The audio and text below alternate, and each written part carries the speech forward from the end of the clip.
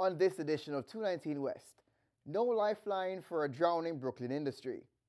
And from our 219 West archives, how the sports industry discriminates against women.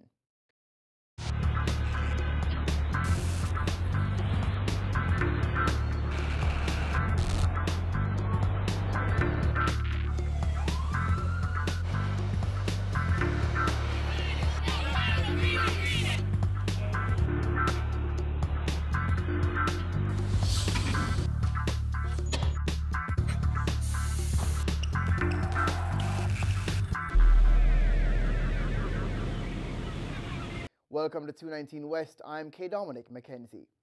Now, it may seem a bit chilly to talk about fishing, but it's a year round business for people who make their living off the waters of Sheepshead Bay. Now, most would be surprised to know that the storied neighborhood at the far end of Brooklyn is actually named after a fish that once lived in the body of the water on the southernmost tip of the borough. Like the sheepshead fish, the community's once booming fishing industry might soon be wiped out thanks to increasing government regulations. Despite complaints from local fishermen, government agencies have maintained their stand. It was admittedly a little warmer when Naomi Yane took the bait and went to find out why.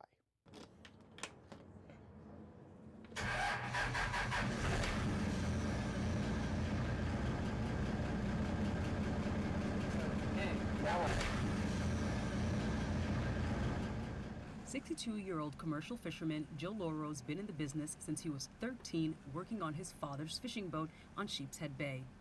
Joe's family came to America from Sorrento in August of 1905. My dad and his family, they came from Italy and um, landed at Ellis Island and they ended up in Coney Island, which is only uh, 10 miles away. So as they were coming in with the ship, they saw the area and they were commercial fishermen and um, in the Mediterranean in southern Italy. And uh, so they got back into the fishing business right away. In 1947, the Loro family bought Stella Maris Bait and Tackle Shop. Stella Maris means Star of the Sea. It's one of two bait and tackle shops still in business on Emmons Avenue. There used to be about eight. Back then, it was just uh, a bigger business. Um, it seems like not as many people are interested in it. I don't know if, if, if it's because the, uh, the prices have gone up of bait, tackle, line, everything. To go out on a boat is a lot more money. So um, I think everything contributes to it, and um, the fact that you're not allowed to keep as many fish. Sheepshead Bay is home to several types of fishing, including commercial and recreational. Commercial fishing is done on a larger scale with the end goal of market selling, while recreational fishing is done for pleasure or sport.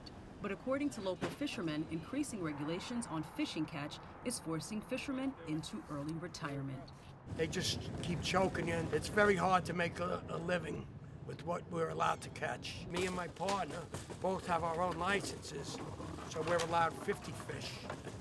But we're only allowed to go out and catch 25 at a time, come in, bring them, tie them to the dock, and then go out and catch the other 25, which is um, kind of silly to me, no matter what business you're in, conservation or commercial fishing. It's more time, more money for fuel. It's um, not too smart. Government agencies like the National Oceanic Atmospheric Administration say it's necessary to impose regulations on fishing to avoid overfishing, which happens when the stock is depleted below a level that's not sustainable. Both commercial and recreational fishing are regulated by the Magnuson Stevens Fishery Conservation and Management Plan. In the last 10 years, regulations for both commercial and recreational fishing has moved to more science-based limits. We have scientists, we have biologists that uh, determine whether um, areas are overfished. We have fishery management councils and uh, with the fishery management councils, they look at the numbers and they take the recommendations from the scientists and from the biologists, and then they determine whether the fishery should keep on going, what the size limit should be, um, what the uh, amount should be that we take out of the ocean. Retired party boat captain Richard Arneman worked his way up on his father's boat from bait boy to captain. For years, Arneman tried to keep the family business afloat and ultimately said goodbye to the fishing industry last year. He now works as a plumber to make ends meet. He agrees there should be restrictions on commercial fishing instead of recreational. They should be putting restrictions on the draggers and, and so on, and people who fish on the pier that don't don't abide by the rules. Us on our boats, we try to obey by the rules, no matter how tough they are or not in our favor. We obey by the rules, and uh, they're just too tight of restrictions for us to really keep our boats afloat. By the late 19th century, the South Shore of Brooklyn was a booming resort town that comprised Brighton Beach, Manhattan Beach, Coney Island, and Sheepshead Bay, which was destined to house a fishing industry. One of the first people to move in there, Benjamin Freeman was his name.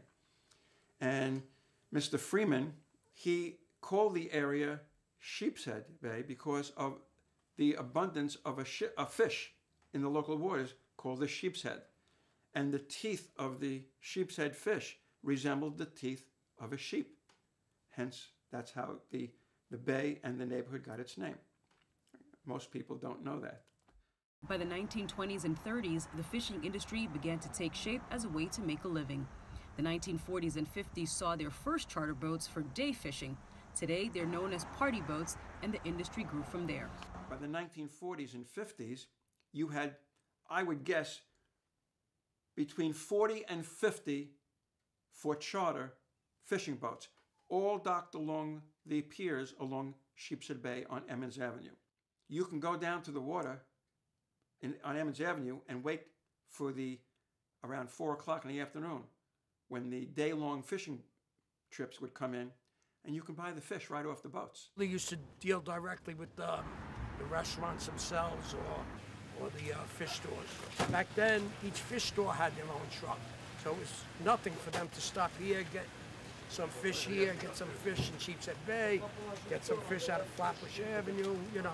Today, the chain of events is a little different for Lauro. He sells all his fish to one dealer, who then sells to restaurants and fish stores. It's just easier that way because um, we have to make the two trips a day instead of one, and um, we don't have the tanks in our truck which we would put if we could do it, but it becomes too many hours a day. So we sell to one, one wholesaler. He buys all our fish and he uh, delivers them to the fish stores and the restaurants. Lauro says that being a fisherman was once a lucrative career where you could make at least $100,000 a year. That number has been cut in half, and he blames tighter restrictions. Recreational fishing limits the number of species, while commercial fishing limits by number of days at sea as well as number of species. U.S. fisheries contributed just under $208 billion in sales, a drop from 2014 of $214 billion, according to the U.S. Fisheries Economics 2015 report. Fisheries jobs are also down to 12%. No, I think it's a balance. There's a balance between what we can take and what we have to leave uh, for the future. And with that, it goes back in sustainability. Um, the whole purpose of um, um, what we do is to make sure that the fishermen and the American people can get as much as they can out of the ocean, but at a level that we can make it sustainable and keep it sustainable um, for, for years to come. Bay Improvement Group President Steve Barrison said Sheepshead Bay has seen a decrease in fishing fleets from 30 to 40 boats to half a dozen boats, and organizations like his work to bring attention to the waterfront and preserve the livelihood of this coastal community. The city of New York has turned their back on an industry worth millions of dollars that provided thousands of jobs. If you chip away at the fleet, which serviced a couple of thousand employees and millions of dollars in revenue for the city, and instead change the zoning and allow improper waterfront shopping, which is not part of what the zoning is or what the waterfront culture is, to be recreation, entertainment, and visitation. If you do that, you are turning your back on an industry that generates millions of dollars in revenue and thousands of jobs for New York, and you have instead co-ops and condos, which are great and nice, but they don't generate nearly the revenue of those thousands of jobs. I like to see Sheepshead Bay come back and thrive again. I mean, it's thriving now. We have a lot of restaurants that's pretty good if you want to bring your family out to eat, but nobody comes down for the fishing boats no more.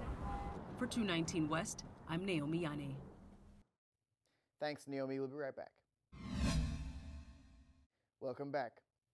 This fall, we mark our 10th year on the air, but we've decided to start that celebration a bit early. These next three stories from our 219 West archives are about women athletes.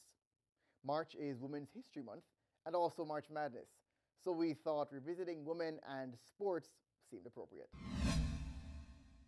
Title IX is a groundbreaking law that prohibits gender discrimination in schools and opened the door for women and girls to participate in sports. Now, two years ago, 219 West commemorated the 45th anniversary of that landmark legislation. Joaquin Torres reported that women athletes then were still playing on an uneven field, earning much less than men in the same sport. Around here, Friday night football means something different. One of the girls running drills is 10 year old Harry, who says she has a dream. My friend once asked me, What are you gonna be like in like 20 years? And I said, Hopefully, a professional soccer player on the women's US team. But Harry already knows it won't be easy, and it's not just the competition that worries her. I once heard that women get paid less even though they work a little harder. Do you think it's fair? Not really, because like most people say that men are usually stronger than women, which is not very fair. I mean, that both. Like I can beat up my bro- both my brothers. Oh. Like, The reality for professional female players is worse than Harry realizes. The pay ceiling, the maximum amount a player can earn in the Women's National Soccer League, is just $41,700 for a season. The minimum, just $15,000, which means most players can't even afford their living expenses. National team players for sure they can, but um, like for me, I have a job in the off season since our season is like so short. These girls are setting that standard of, you know, pushing for the wages to be higher so that these young kids that are watching and want to dream of being a professional athlete can be a professional athlete and get the wages they deserve. On a recent Sunday afternoon, fans took the bus from New York to New Jersey for a Sky Blue season home opener. The popularity of female soccer in America is growing, but the wage gap between men and women is huge. On average, a male soccer player earns around $300,000 a year. That's more than the salary cap for a whole team in the women's league. There's definitely a, a huge gap in the uh, the wage structure between males and females, and it's unfortunate. It's very tough for the Sky Blue players, not just them, but every player in NWSL, because the wages on a yearly basis are not enough. It's getting better, but it's not enough. Raquel Rodriguez scored a winning goal in Blues' victory against Kansas City. Rodriguez is from Costa Rica. There she says things are even worse. There isn't even a professional women's soccer league. There's no professional soccer, that means there's no salary whatsoever. And I'm here and you know when you see the national team players, for example, you know, fight for equal equal pay, um, there's a of course there's a point in that, you know, but then my background, I'm like, well, I've never earned money for doing this. Women in the national team make about 40% of what their male counterparts do. But the difference is higher when we are talking about prize money.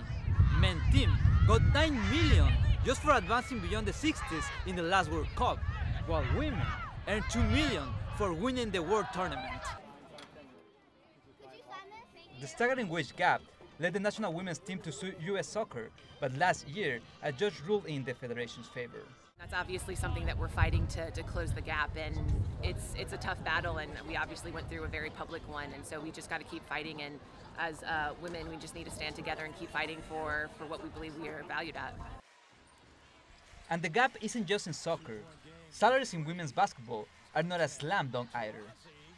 The highest salary in the WNBA is around $100,000. That's not even close to the NBA, where many players earn millions. Tim Quarterman of the Portland Trail Blazers earned more than half a million dollars last year for playing only 80 minutes. It's crazy, but there's so much more money involved in the NBA, so they have more to go around. Julian Vianney, who played professional basketball in Armenia after college, says American players are valued more overseas than in their own country. You're an American and you go overseas to play, usually you're the highest paid player, just because you're American.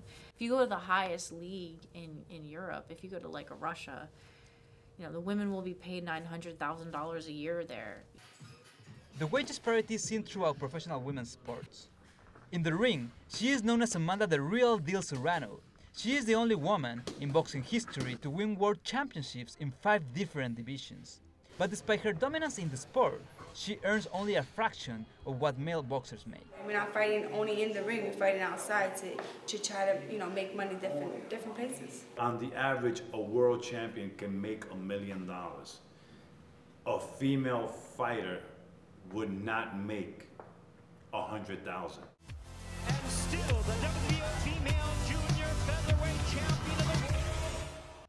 Amanda's record led Showtime to air the January fight between Serrano and Yazmin Rivas as the top match of the card. It was the first time in a decade a women's fight headlined a national boxing broadcast. She earned just $200,000. The biggest boxing event in 2017 One month later, Amanda's childhood idol, Oscar de la Hoya, came to New York to promote a men's fight between Saul Alvarez and Julio Cesar Chavez. Canelo Alvarez took home more than $36 million. We do sell tickets. I think we are an attraction. You know, we, we can fight. So I don't understand why uh, we're not getting equal equal pay. You know, I get paid uh, the amount of uh, Pacquiao's corner man. Top female athletes feel they should be paid like their male counterparts. But the reality is many of them are fighting just to make the kind of money that would allow them to live from playing their sport. For 219 West, I'm Joaquin Torres in Piscataway, New Jersey. You have to eat meat to gain muscle, right? Well, back in 2012, Sarah Kazadi brought you this story about a Brooklyn woman who devoted her life to being a lean green machine. Competitor number 14 from Brooklyn, New York, Jehina Malik. Jehina Malik is 123 pounds of pure muscle. Most of the time, you can find her in the gym chiseling her physique. But it isn't just for show. At 19, she saw a bodybuilding contest on TV. She's been competing professionally ever since. I hear a lot of people asking, why do I do it or why do I put myself through it? It's the high I get on stage when I'm flexing and when I'm entertaining the crowd. Malik's 14th competition is at the end of March. She spent the three months before the show training and focusing on her diet.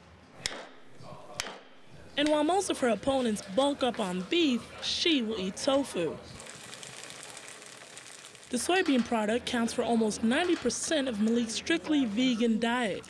The 32 year old was born to vegan parents and has been vegan her entire life.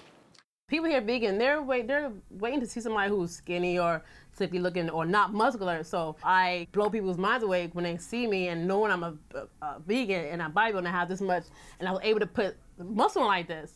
While training, Malik eats six meals a day from 6 a.m. to 11 p.m.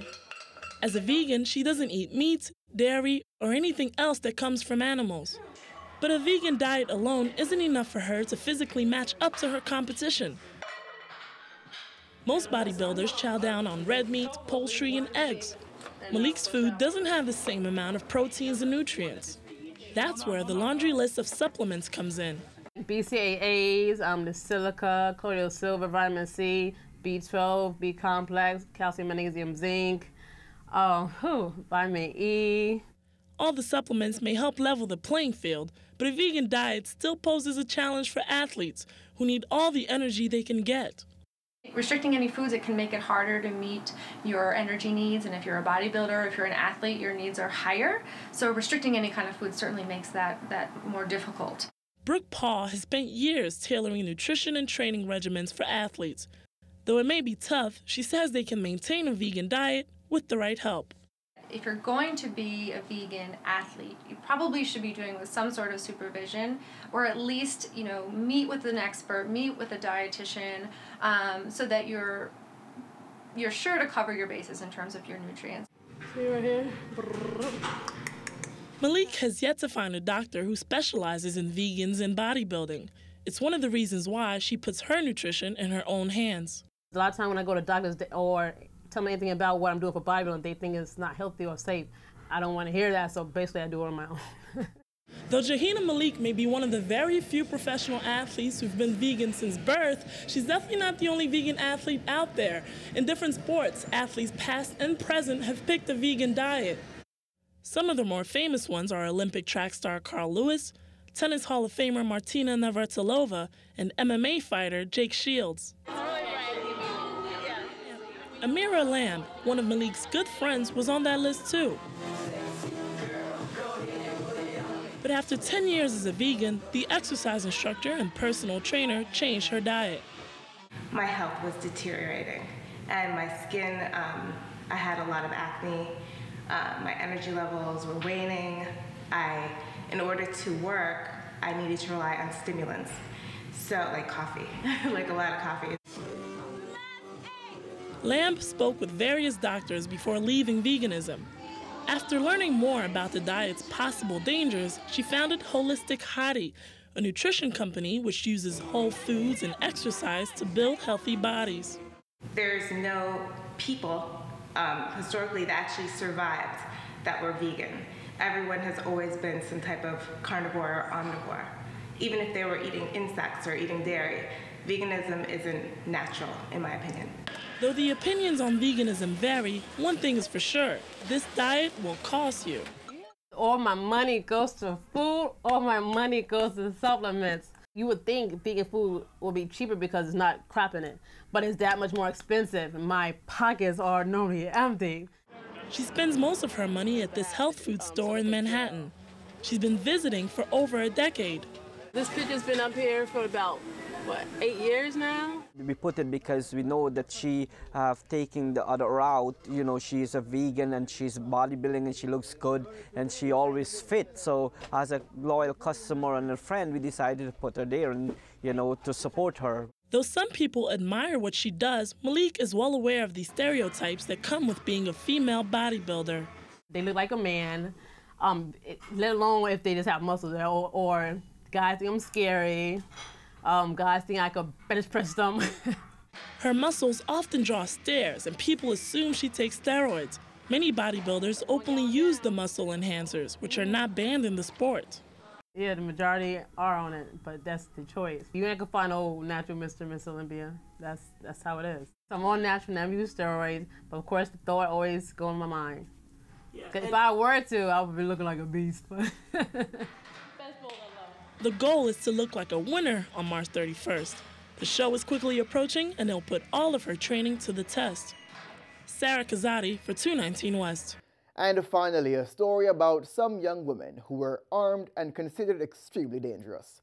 They're armed wrestlers who share one passion the thrill of pinning their opponents on the table. Here's Samantha Stark. Although people think that arm wrestling is a drinking game for macho thugs, it's actually an internationally recognized competitive sport. And like many major sports, it has a small but fierce female division. A tight knit group of New York City's female arm wrestlers practice every week in a Queens basement.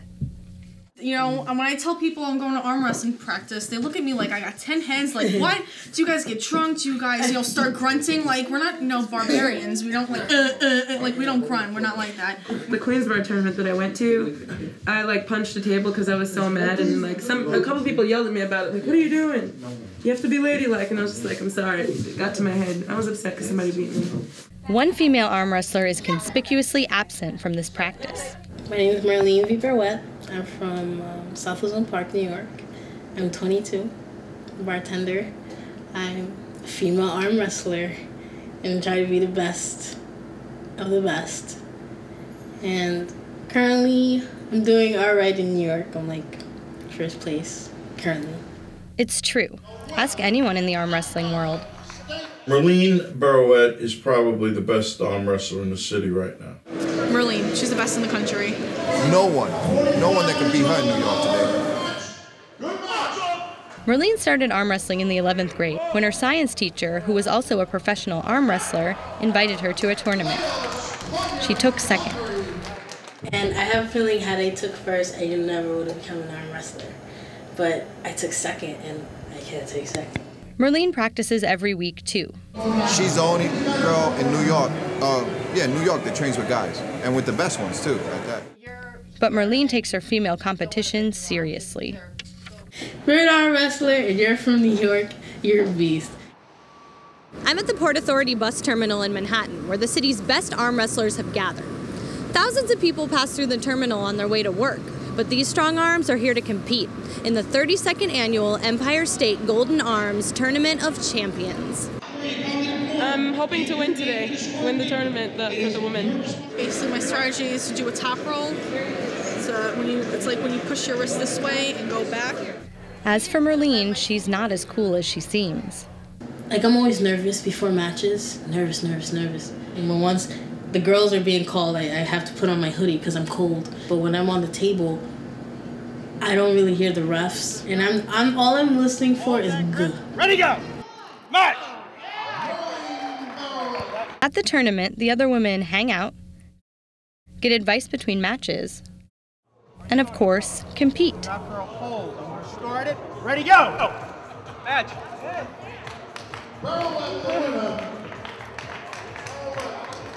Ready, go! Match. Ready, go! Watch your elbow, Miss Boone. Match! Merlene takes all three divisions. Her wins mean others face disappointment. The champion! Merlene's not crowing over her victory. She's already preparing for her next big challenge the World Championships. In arm wrestling, of course, I want to win world several times. If I can, just win it once and win it again and win it again and win it again. At least four times. Maybe then I'll be like, oh, I think I've had enough of arm wrestling. For 219 West, I'm Samantha Stark. And that's it for this edition of 219 West. I'm K. Dominic McKenzie. See you next time with more stories from New York and beyond.